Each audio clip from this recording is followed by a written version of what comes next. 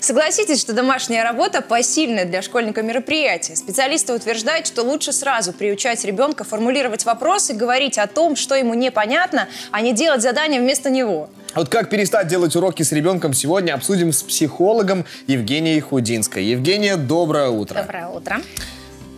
Ну, расскажите, как приучить ребенка э, делать домашнее задание? А, в первую очередь нужно выяснить, по какой причине а, страдает вот этот вот процесс выполнения домашнего задания самостоятельно, да? И для чего родители пытаются помогать детям выполнять домашнее задание? Тут бывает только две причины. Либо ребенок действительно не справляется, иногда у него действительно не хватает сил высидеть, и, может быть, где-то пробелы какие-то есть в знаниях, а, но чаще всего мы выполняем такую медвежью услугу, когда, конечно же, сидим с детьми. И это ошибка родителей. То есть мы просто его приучаем э, вот к такому легкому пути выполнения домашнего задания, ему просто потом лень делать Ну, мы выполняем, скажем так, медвежью услугу где-то.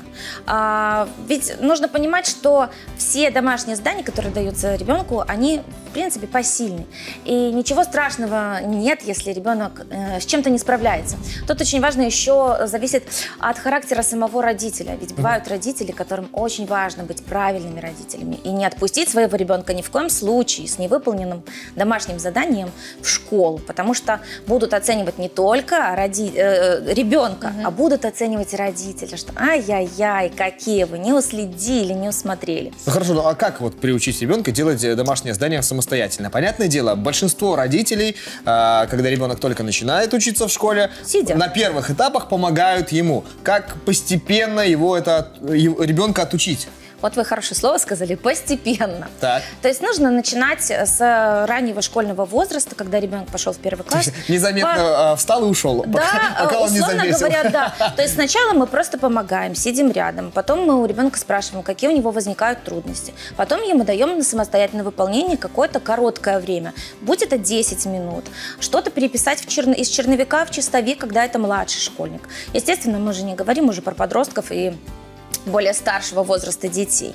Вот. И постепенно это время увеличиваем. Если мы реально видим, что ребенок не справляется, мы даем ему полчаса побыть самостоятельно, попробовать выполнить самостоятельное задание, и потом уже только мы можем помочь, если действительно ему эта помощь нужна.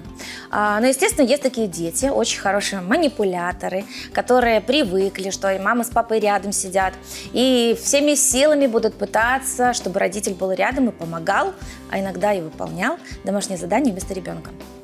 Это будут истерики, могут быть истерики, могут быть крики, могут быть э, какие-то манипуляции со стороны, со стороны ребенка. То есть дети э, чувствуют э, слабость родителей, и вот на эту слабость родители, конечно, ведутся. Ой, он там плачет, не справляется. Папа говорит, давай-ка, мам, быстрее иди, помогай. И все. То есть как не реагировать, да? Да, ну, э, дать ему время, чтобы ребенок понял, что это его ответственность, что, но в то же время показать, что вы готовы ему помочь. То есть не то, что вы там удалились э, и сказали, все, твое Вот дело, как не я умываю руки. Э, Вы должны, ну, ну, нужно сделать это постепенно, нужно сделать это осторожно. Там, где нужна помощь, вы подошли, помогли, дали какое-то время выполнить самостоятельно. То есть не бросать его на амбразуру одного и говорить, это, это не мои дела, я свою работу тебя не прошу выполнять, да, как очень многие говорят там. А, родители. а будет ли работать какая-то система мотивации? Вот, например, мы делали с ребенком э, вместе домашнее задание, а потом говорит, а вот если ты сегодня сделаешь самостоятельно, то я куплю тебе вот это. Ну, Или конечно, вот да. Почему тебе. нет? Ну, деньги я бы не, не рекомендовала делать, но какая-то стимуляция, какая-то мотивация имеет место быть, конечно. А, Например, можно в течение недели установить какой-то вре- временной отрезок, да. Если в течение недели ты пытаешься сам выполнять домашнее задание, и все успешно, давай в выходные куда-нибудь сходим. Пусть ребенок предложит какие-то варианты мотивации, ко- которые ему хочется, да. Может, ему не нужна эта Да, он, прогулка. он предложит потом, э, отец, лучше я сделаю, пожалуй, сам за тебя Ну, домашнее то есть, конечно, задание». все разумно должно быть. Вот. То есть мотивация имеет место быть, и это хороший способ, чтобы помочь ребенку и, и простимулировать его на выполнение самостоятельно домашней работы. Но поскольку это путь э, постепенный, э, на этом пути ребенок в любом случае находится в стрессе. Как ему Да. помочь в этом состоянии? Не нужно так сильно э, волноваться насчет этой учебы. А, то есть, конечно, это важно, но чтобы ребенок э, не был в сильном стрессе от того, что ай-яй-яй, ай-яй-яй, как же так, я пойду завтра и не выполню что-то, или выполнил неправильно, э, грамотно подходить к этому ко всему. Э, ошибка – это наше обучение, и мы имеем право ошибаться. Нужно правильно донести до ребенка, что даже если ты не сделал эту работу или сделал ее неправильно, страшного ничего не случилось. Я с тобой рядом, я готов тебе помочь. И на дальнейшую какую-то твою жизнь кардинально эта ошибка не повлияет. То есть поддержать правильно ребенка нужно. Да, но мама скажет ничего страшного, а учитель в школе скажет, что ай-яй-яй, как так?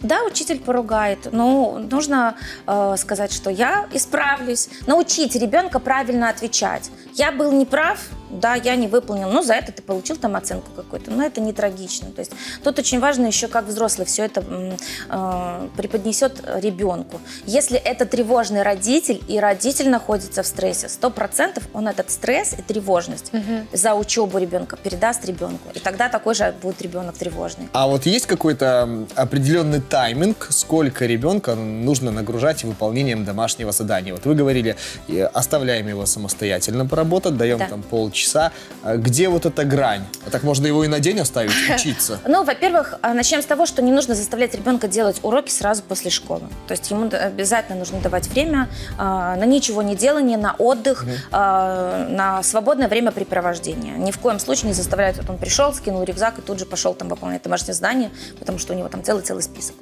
Это, во-первых. Во-вторых, тайминг нужен. Нужно давать перерывы, то есть можно там делать по полчаса какое-то домашнее задание, один урок полчаса, сделать перерыв, пойти чай попить, пойти там посмотреть что-то. Э, ну, то есть переключение должно быть. И потом э, второй урок. Ну, в, общем, уроки не должны занимать более там двух-двух с половиной часов. Э, это идет колоссальная нагрузка на организм и в физическом, и в умственном плане. Ребенок должен все-таки дома отдыхать и набираться сил, потому что у него достаточно тяжелая умственная деятельность будет в школе на протяжении длительного времени. Вот а какое время лучше выбрать? А, время лучше выбрать а, где-то через три часа после школы. А, ни, ни в коем случае не заканчивать уроки прямо перед сном. То есть это вечернее время. Кстати, довольно популярная практика, когда родители до самого действительно сна. до самого не сна Не выучили стих, и там учим до полуночи его. Переписываем. да, или выдираем лист и переписываем. А потом всю эту ночь э, жиши э, с буквой И. Да. А какие у ну, вас э, снятся кошмары? В таком случае ребенок придет в стрессе в школу и уже забудет сто раз этот стих и сто раз не захочет делать еще. То есть его негативный опыт выполнения домашней работы будет тянуться за ним, и дальше ему будет сложнее. Он будет знать, что там мама будет стоять и говорить, рассказывай заново, рассказывай заново.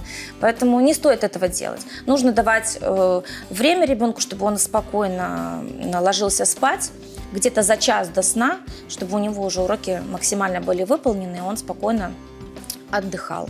Вот действительно говорят, век живи, век учись. И вот для того, чтобы процесс учебы проходил в удовольствие, исполняйте те советы, которые сегодня нам э, любезно предоставила психолог Евгения Худинская. Евгения, хорошего дня. И вам хорошего дня.